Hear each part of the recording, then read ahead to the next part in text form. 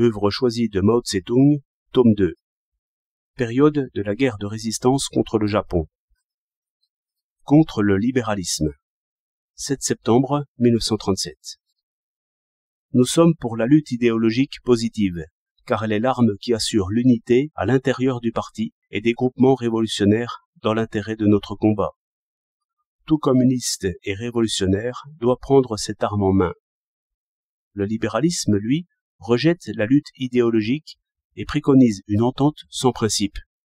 Il en résulte un style de travail décadent et philistin qui, dans le parti et les groupements révolutionnaires, conduit certaines organisations et certains membres à la dégénérescence politique. Le libéralisme se manifeste sous diverses formes.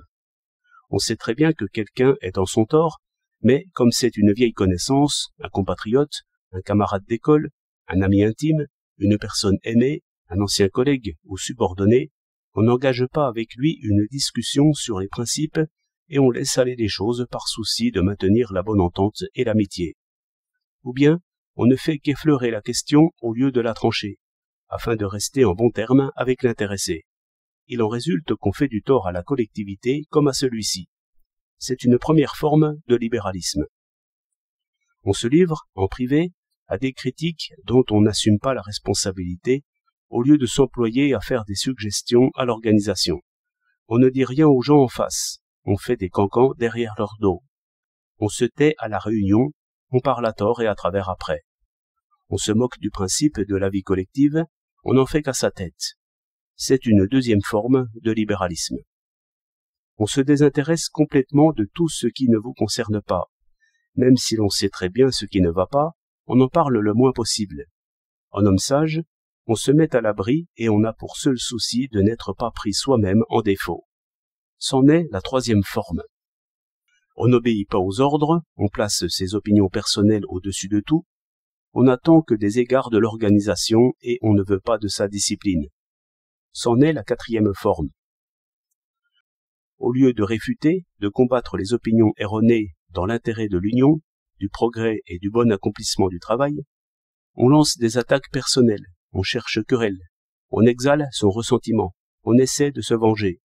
C'en est la cinquième forme. On entend des opinions erronées sans élever d'objection. On laisse même passer des propos contre-révolutionnaires sans les signaler. On les prend avec calme, comme si de rien n'était. C'en est la sixième forme. On se trouve avec les masses, mais on ne fait pas de propagande, d'agitation, on ne prend pas la parole, on ne s'informe pas, on ne questionne pas, on n'a pas à cœur le sort du peuple, on reste dans la différence, oubliant qu'on est un communiste et non un simple particulier. C'en est la septième forme. On voit quelqu'un commettre des actes nuisibles aux intérêts des masses, mais on n'en est pas indigné, on ne l'en détourne pas, on ne l'en empêche pas, on n'entreprend pas de l'éclairer sur ce qu'il fait et on le laisse continuer. C'en est la huitième forme. On ne travaille pas sérieusement mais pour la forme, sans plan ni orientation, qu'à un cas. Bonze, je sonne les cloches au jour le jour. C'en est la neuvième forme. On croit avoir rendu des services à la Révolution et on se donne des airs de vétéran. On est incapable de faire de grandes choses, mais on dédaigne les tâches mineures. On se relâche dans le travail et dans l'étude. C'en est la dixième forme. On a commis des erreurs. On s'en rend compte, mais on n'a pas envie de les corriger, faisant preuve ainsi de libéralisme envers soi-même. C'en est la onzième forme. Nous pourrions en citer d'autres encore, mais ces onze formes sont les principales. Elles sont toutes des manifestations du libéralisme le libéralisme est extrêmement nuisible dans les collectivités révolutionnaires. C'est un corrosif qui ronge l'unité, relâche les liens de solidarité, engendre la passivité dans le travail, crée des divergences d'opinion. Il prive les rangs de la révolution d'une organisation solide et d'une discipline rigoureuse, empêche l'application intégrale de la politique et coupe les organisations du parti des masses populaires placées sous la direction du parti c'est une tendance des plus pernicieuses. Le libéralisme a pour cause l'égoïsme de la petite bourgeoisie, qui met au premier plan les intérêts personnels et relègue au second ceux de la révolution. D'où ces manifestations sur le plan idéologique, politique, ainsi que dans le domaine de l'organisation. Ceux qui sont imbus de libéralisme considèrent les principes du marxisme comme des dogmes abstraits. Ils approuvent le marxisme, mais ne sont pas disposés à le mettre en pratique ou à le mettre intégralement en pratique. Ils ne sont pas disposés à remplacer leur libéralisme par le marxisme. Ils ont fait provision de l'un comme de l'autre. Ils ont le marxisme à la bouche, mais pratiquent le libéralisme.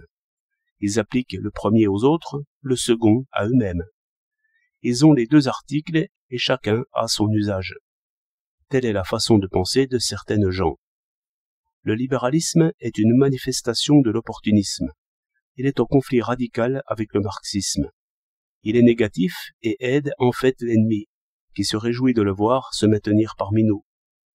Le libéralisme étant ce qu'il est, il ne saurait avoir sa place dans les rangs de la révolution. Nous devons vaincre le libéralisme, qui est négatif, par le marxisme dont l'esprit est positif. Un communiste doit être franc et ouvert, dévoué et actif.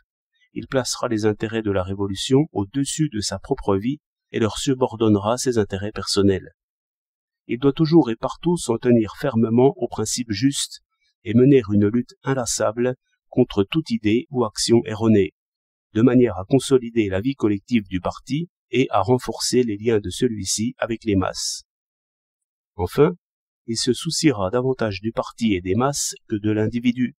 Il prendra soin des autres plus que de lui-même. C'est seulement ainsi qu'il méritera le nom de communiste. Que tous les communistes loyaux, honnêtes, actifs et droits s'unissent dans le combat contre les tendances au libéralisme qui se manifestent chez certaines gens, pour les ramener dans le droit chemin. C'est là une de nos tâches sur le front idéologique.